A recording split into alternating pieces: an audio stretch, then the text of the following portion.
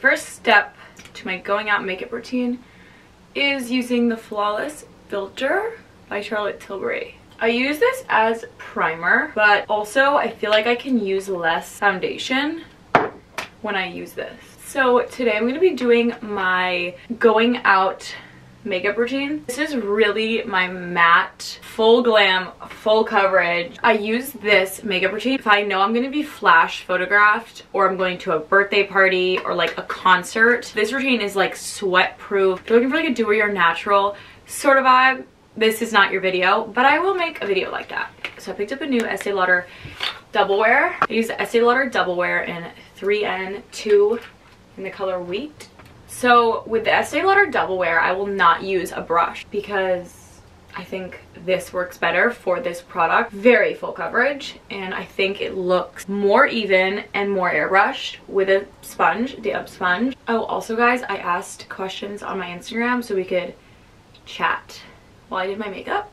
Okay, someone asked, how did you lose weight? One thing about being an influencer is when I gain weight or lose weight, I get a lot of comments about it, which is like, fine. It's not that fun when people on the internet talk about your weight, but like, I mean, what do I expect? I'm gonna go in with a Charlotte Tilbury. So in general, in the past four years, I would say my weight has fluctuated a lot. So I'm gonna run it back to when I was in high school. So I was a very serious athlete and I lifted very heavyweight. I was doing Olympic lifting and being a ski racer is kind of like how big can I get? At my school, if you were really small and you weren't strong, it was like that was not a sign of success. So I was about 40 pounds heavier in high school. I was a much bigger girl than I am now, but it's actually kind of cool. When I was in high school using the Milk Cosmetics Contour and Blaze, I was so confident and like I didn't give a fuck about my weight. Like I really did not care about my weight at all. And I was so confident. Not only was I really muscular and strong, but like I had a lot more body fat than I have now. So I really love this foundation by L'Oreal Infallible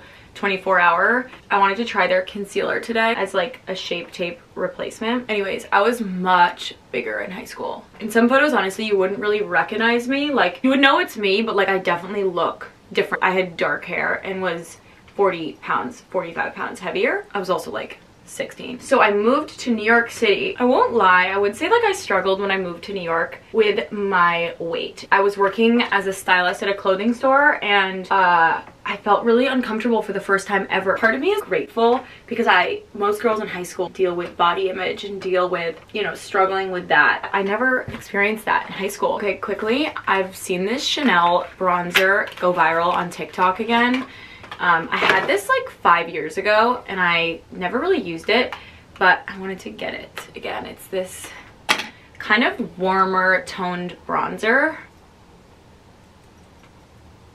It's pretty.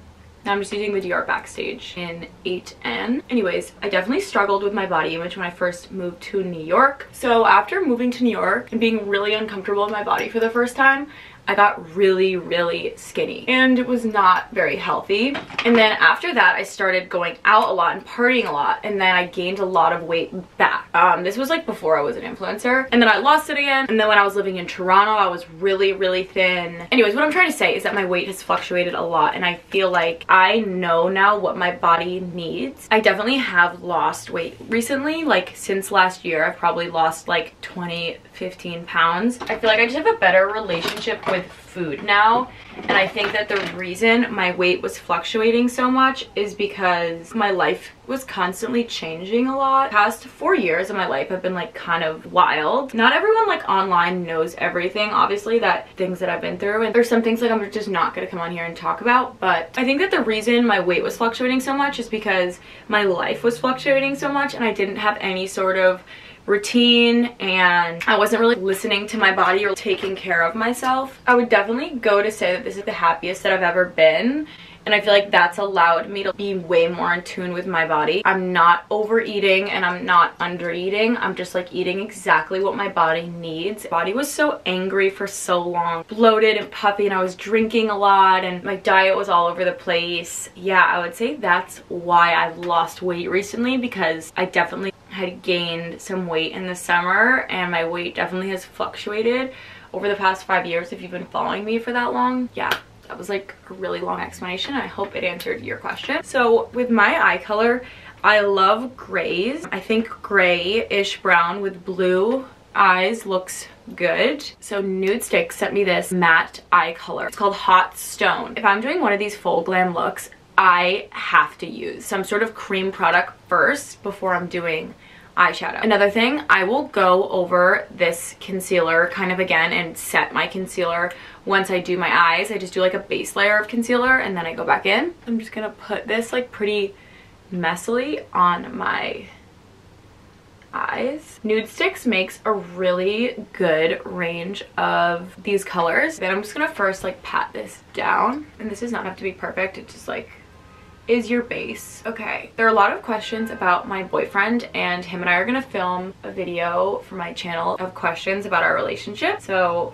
I'm gonna save those for that. What's your favorite part about being an influencer? I would say having the opportunity to be creative. I'm really the creative director of everything I do, which is so cool. People don't really think about it like that, but I get sent products and have pretty much full control over how I'm shooting the content. Creatively, I really have the control and it's so cool that brands pay me to create my own image with their brand. I think that's really cool. How have you overcome insecurity? I've seen you grow up so much in the past three years I've been following you. Love you. That's so sweet. What a great question. I feel like I honestly could talk about that one question for a while. I'm gonna go in with this MAC palette. It is called Art Library Nude Model. Really pretty. So I'm gonna go in with these grays just on the outside. I am definitely not as insecure of a person at all. I mean, there were points in my life that I was like literally a shell of a person because first thing that comes to my mind is my first serious relationship in my adult life. Quickly, I'm just gonna take um, this little brush and create like a smudged eyeliner with this darker kind of like purplish gray. Anyways, I left the city that I was living in to go live with him. I was in college in New York and basically moved my whole degree program online and I was making some money off social media was not making nearly what I'm making now and I moved there and I was really dependent on him for a lot of things. I was not only dependent on him emotionally but he was paying for most things. Also his love language was like giving so he to be completely honest he bought me a lot of stuff groceries rent literally like he was very generous in that way. Gonna just take this Tarte eyeliner and I'll show you what I do. And all that, like I just didn't have my own thing. I think the moral of that story for me and maybe for you is like to not depend on a man. I do depend on my boyfriend now for like things, but I have a house, I have a job, I have such a good foundation built and he adds to that. So I'm not dependent on him. Career-wise, my content does not depend on him. And that has made me like, I am a new person. And I will say that I have struggled with that not only in that relationship, like even my last one, balancing what's actually good for me. Before you sacrifice for someone, which, you know, I do in my current relationship, sacrifice a lot. I'm traveling a lot with Tommy. But before you do that, build a foundation of your own build a life that you love on your own without your boyfriend i'm just like way less insecure in my relationship and i also think my boyfriend tommy respects me a lot because of it. Okay, I'm just gonna clean up my eyebrows a little bit with this Graftobian palette. That has made such a big difference in my confidence. And like also, even with receiving hate online, let's like take away the boyfriend part of this. When people shit on me and say lies and nasty shit about me, at the end of the day, I'm like, I'm fucking good. I have such an amazing house, an amazing life, amazing friends. I'm solid. So like that shit rattles me so much less. Okay, before I do my mascara and stuff, I'm gonna set my under eyes and then I'm gonna do my lips and then see where we're at. I know my following is mainly young girls and I just really want to drive home to you guys that having your own thing, having your own job and your own hobbies and making your own money is so freeing. I no longer have to depend on any man or anyone for anything. And I know some of you might like be in college or in high school and you're not at a point where you're working or like can be financially independent. Being independent doesn't only have to mean financially. Prioritizing your hobbies. I think it's about setting a good foundation for yourself. How do you not compare yourself to other girls? Luckily, I have not had this problem really. Sometimes when I'm filming these videos, I have a really hard time telling you guys the products, talking, and doing my makeup at the same time. So I just used Iconic Nude and then I'm gonna play around with a few different colors. Sorry, my uh, memory card was full. I had to delete some stuff. So I was talking to my best friend Amanda about this. This is very black and white, but there are two types of girls.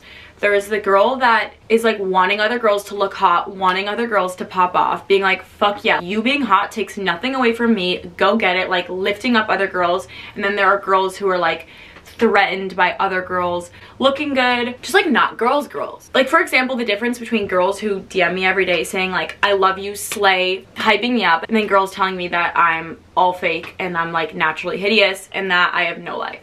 So like two different types of girls and thank god i am the type of girl that like other people's success and other people being hot literally takes nothing away from me. I love seeing other people succeed. Even when I meet influencers or people in my industry, I'm always like, do you need this email? Like, let me set you up with this person. Like, I'm constantly wanting to give away my resources. Another girl doing well on social media takes nothing away from me because my content is obviously always going to be different because it's me. I'm not in a competition with any other girl. Like there's no competition. There's no competition because no one is me. Like we're all so unique and I wouldn't want to be anyone else. And I want every female to be like no one could be me either. And my own individualness makes me really confident. Okay, now I'm going to be using the white peach in this Tarte Lip Plum. Yeah, I really don't compare myself to other females. I'm trying to decide if I should do blush. Sometimes with these very like smoky bronzy look, don't add blush. There's this really good quote that I want to read about. Confidence isn't walking into the room thinking you're better than everyone. It's walking in and not having to compare yourself to anyone at all. That is the best quote ever. Love it. Okay, now I'm gonna curl my eyelashes and then reassess the eyeshadow situation. Sometimes at the very end, go over my eyeshadow again. Oh, I forgot to do my waterline. I've been doing this a lot, guys. I put eyeliner in my waterline. It really just deepen the whole eye look a lot.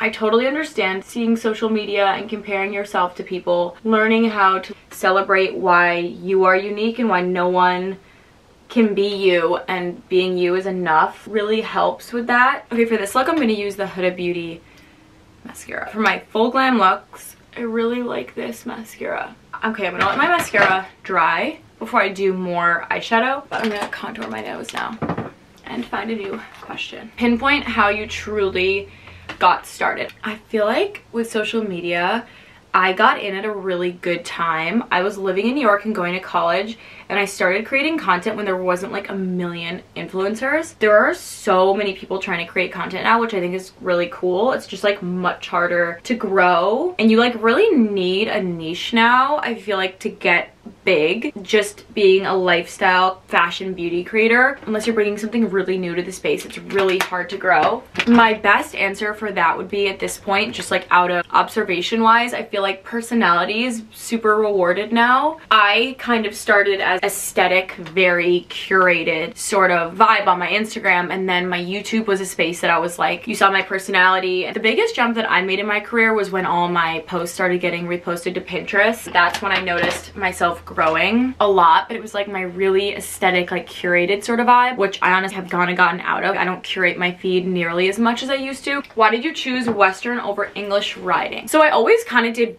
both but for me it was more of a comfort thing. I feel like english is super competitive and very like strict and i was really riding for pleasure. It is really therapy for me riding. It's been very healing for me and i felt much more comfortable in a western saddle and the barn that i found that i loved was western and just like a much more casual environment so that's why I chose Western. How often do you work out and what workouts do you enjoy? Naturally, and like my dad and I have very similar bodies, naturally I have like a very athletic body and I have muscle mass. Even if I do not touch a weight, I have muscle. I've literally been like that since I was a kid. I carry a little bit more muscle on me. In other words, like I have an athletic build. So for me, it's about keeping my body fat percentage low. So if I can keep my body fat percentage low, then I look really fit because I naturally have muscle. So for me, my body is made in the kitchen, very active.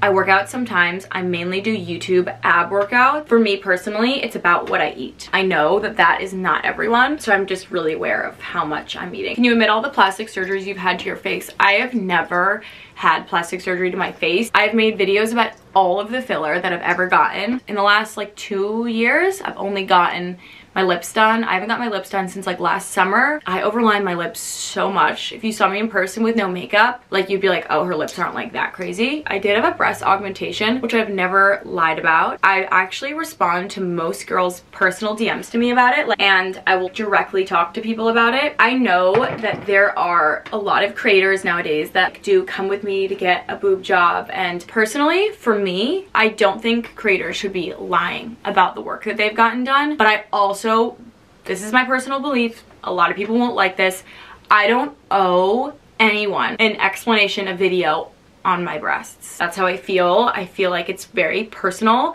I didn't get my boobs done to have them look really fake. I didn't have small boobs. I think that's why they look more natural because I had like a C cup. I don't know, it's just a very personal thing. And I knew people were gonna notice and I never was gonna lie about it, but I also wasn't gonna make video about it. But yeah, the one thing I do wanna say, go smaller than you think. Another thing I wanna say about this is as we have seen influencers on TikTok, obviously we've seen influencers getting their boobs done. I feel like more now on TikTok. I feel like more girls are feeling pressured and to get their boobs done. And I never wanted to advertise that. I didn't want any young girls to feel like in order to be beautiful or in order to be like their role model, they had to go get that procedure done. I didn't want to be shoving it in everyone's face, but I will try this new product that I got from Charlotte Tilbury.